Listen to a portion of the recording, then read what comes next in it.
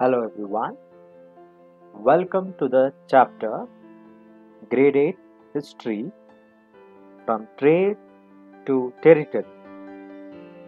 How did the English East India Company establish its power in most parts of India? That's what we are going to look in this chapter from trade to territory. Before we get into the details of the chapter, let us look at the learning objectives. Students will be able to describe the condition at the time of the British arrival to India for trade after the end of this lesson. So, students should be able to describe what was the economic condition of India at the time of the arrival of the British to India for trade reasons. Now, they will also be able to analyze the conditions in Bengal before and after the arrival of the British to power. So, children will be able to clearly differentiate the conditions in Bengal before and after the arrival of the British to power in Bengal region. They will also be able to evaluate the efforts of the Indian local kings made to retain their power and position against the British and able to figure out the mistakes of Indian rulers at that time. So, students not only le- learn about the Indian economic condition before the arrival of the British, they will also be able to analyze the situations or conditions in Bengal before and after the arrival of the British to power. They will also be able to discuss the efforts made by the Indian local kings to retain the power and position against the British and also discuss the mistakes that are done by the Indian rulers at that time. They will also figure out the reasons that led to the eventual rise of British to power across India.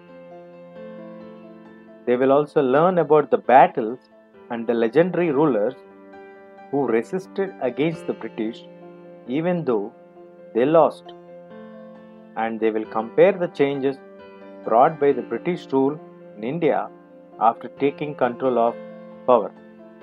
So, there is in this lesson, they are going to study in detail from the arrival of the British, then looking at the conditions in Bengal, then the famous battles, local leaders who fought against them, and what were the administrative changes that were brought by the British in India. So it's a quite big lesson. We have to stay focused to understand each aspect in detail. Now let us move on to the subtopics that are going to be covered in this chapter.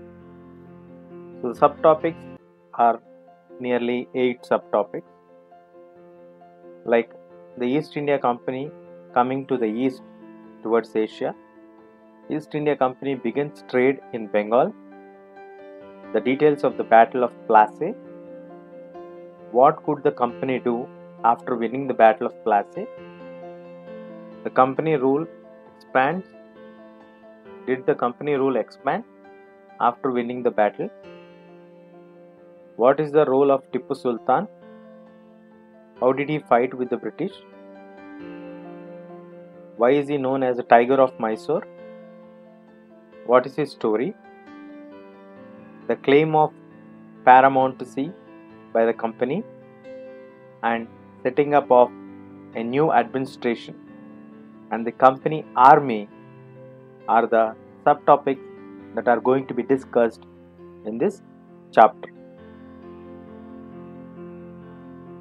Let us now first move on to the session 1 East India Company coming to East.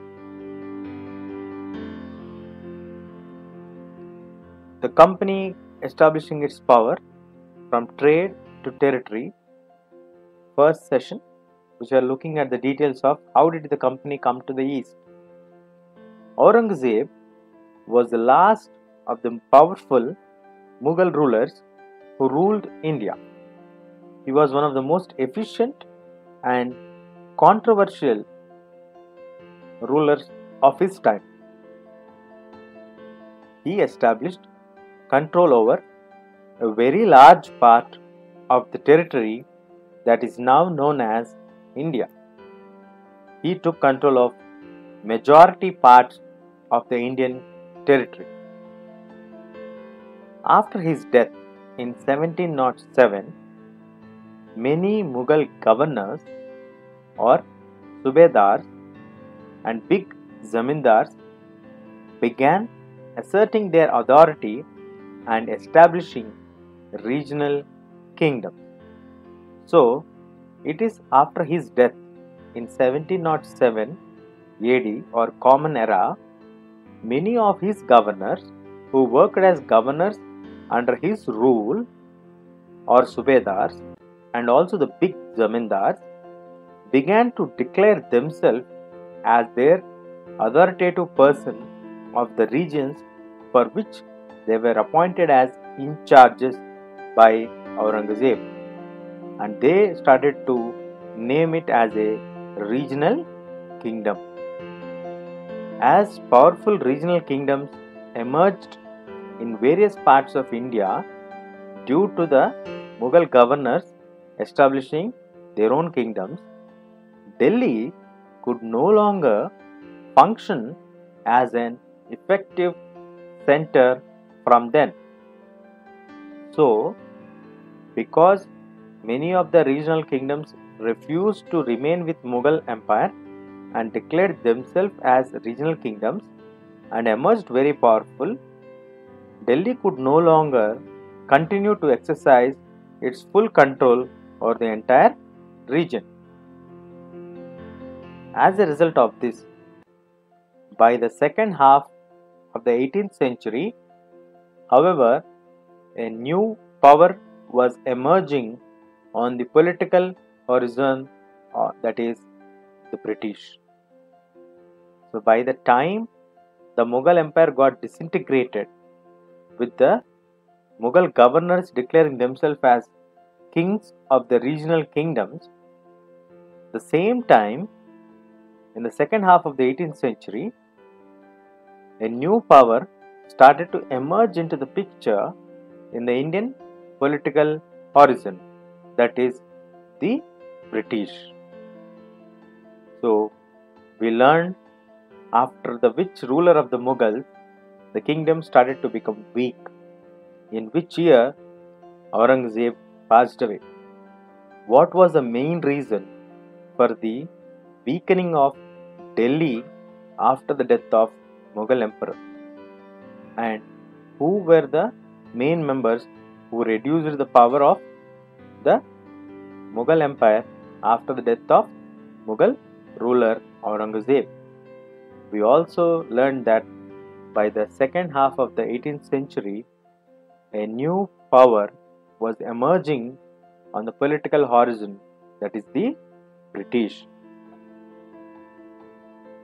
In fact, when a massive rebellion took place against the British rule in 1857, the Mughal emperor at that time was Bahadur Shah Jafar was seen as a natural leader.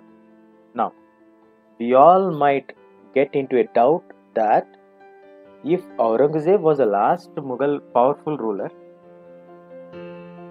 Mughal Empire started to break down. How did Mughal Empire was found in 1857 as a natural leader? So the point here is, at the time of Aurangzeb, the Britishers were very powerful and they were in their initial stage of entering into trade with India. But by the time in 1857, the Mughal Empire lost its complete hold in the entire India and it was curtailed itself to few parts of India. But by that time, the British proved to be very powerful ruler of many parts of India. So what they thought was the only kingdom which was in rule for a very long period of time is the Mughal kingdom rule. So the Mughal ruler is considered as the natural leader for the rebellion which took place in 1857 for which was actually not. And once the revolt was put down by the company, that is the British rulers, the Bahadur Shah Jafar was forced to leave the kingdom and his sons were shot in cold blood. You can see on the screen the pictures showing how the king has been taken and forced to leave the kingdom and his sons were killed in the cold blood. Now, trying to understand East India Company's rule and its initial arrival to India. Did you know that the British originally came as a small trading company and were reluctant to acquire territories? So basically, they came only to do trading and they were not interested to acquire territories in India. But then, why did they come to be masters of a vast empire in the future? Initially, when they came to India, they only want to do trade and they were not interested to occupy any kind of territories in India. By the end of the century, they have been as masters of a vast empire. So, what made them to change their initial approach towards India into an opposite one? The East India Company initially came to East, that is, the East India Company was another trading company in the England who would compete with the East India Company. There was a royal charter 1600 whereas on the screen you can see the Queen Elizabeth I the English East India Company has acquired a charter an official permission from Queen Elizabeth I granting it the sole rights to do trade with the East. So in 1600, the East India Company approached the Queen. The Queen then of England is Queen Elizabeth I.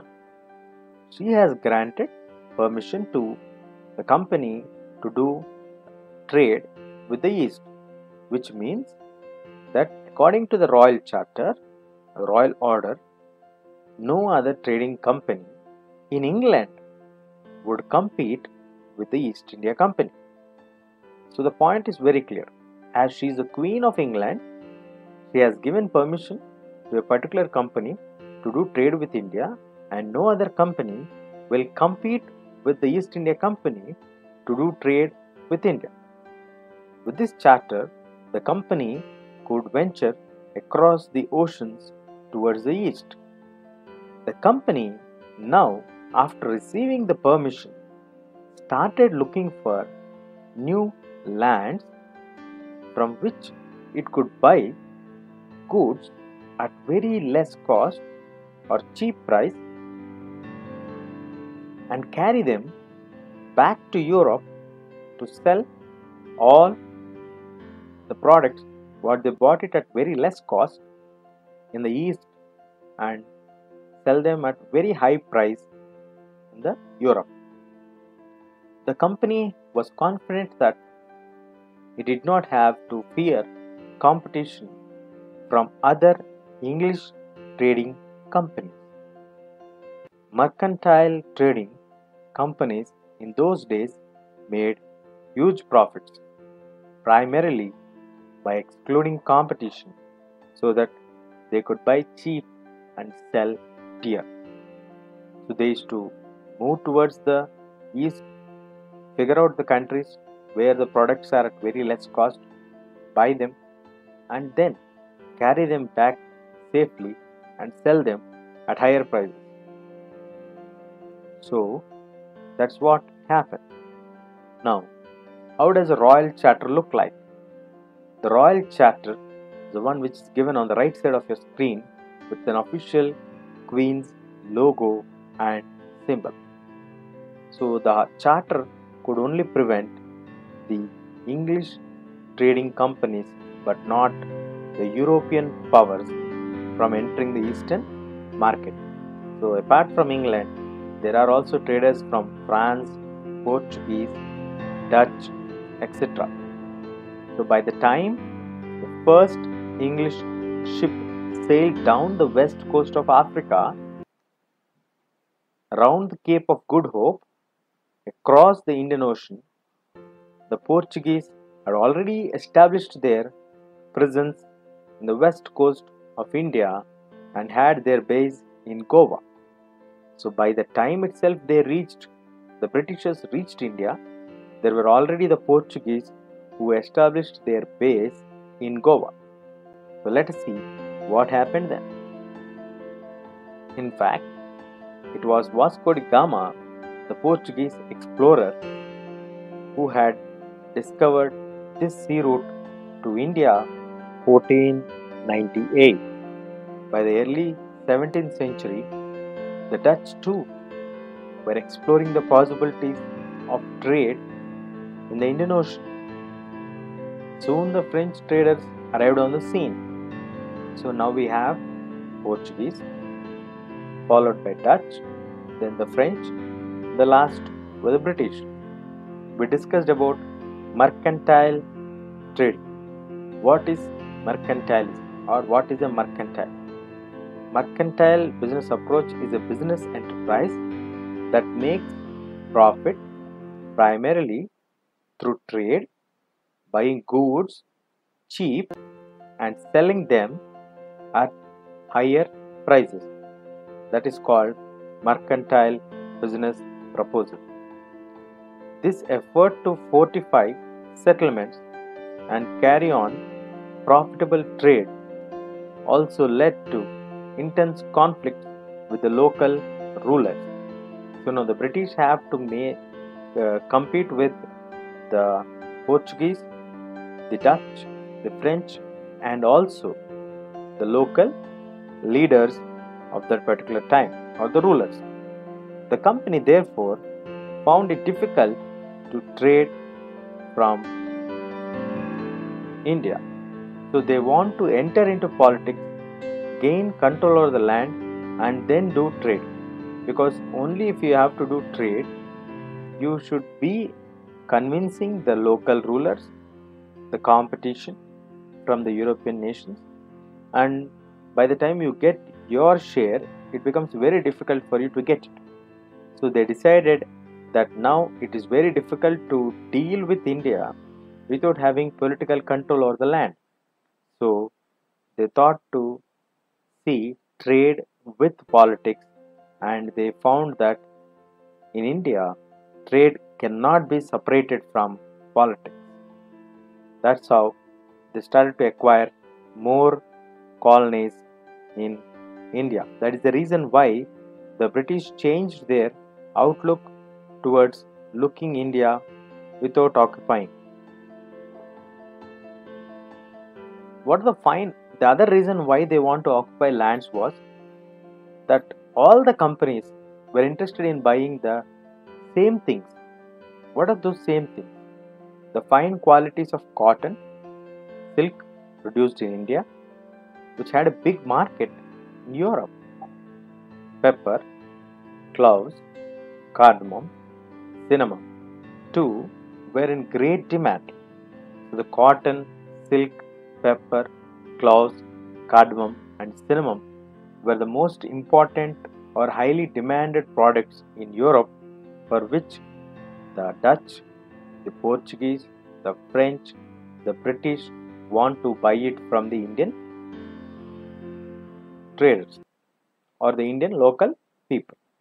The competition amongst the European companies inevitably pushed up the prices at which these goods could be purchased, and this reduced the profits that could be earned. Now, as we all know, when there is a demand and there are number of buyers, definitely the cost of the product would increase. So they have to buy it with a high price, then only the local seller will sell it to the foreign company. So the only way the trading companies could flourish was by eliminating the rival competitors. That's made the Britishers to think on urge to secure markets. Therefore, it led to fierce battles between the trading companies of the Europe. Through the 17th and 18th centuries, they regularly sank each other's ships, blockaded the roads or the routes in sea, and also prevented rival ships from moving with supplies of goods. So, in 17th and 18th centuries, there was a regular conflict between the European nations.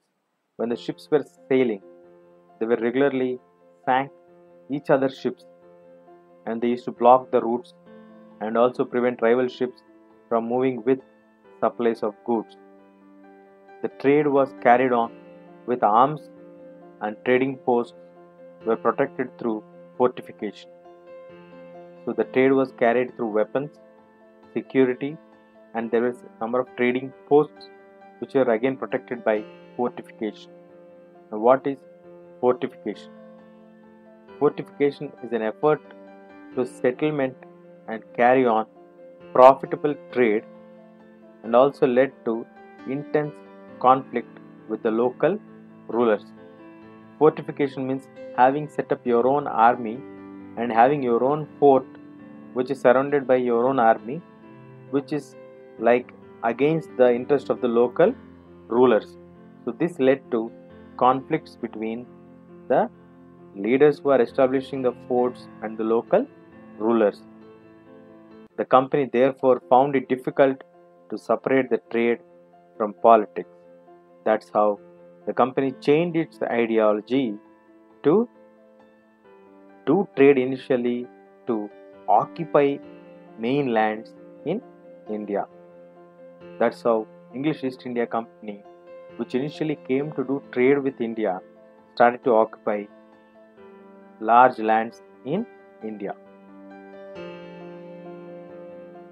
I hope you all understood the key points. Stay tuned. We'll catch you in the next session.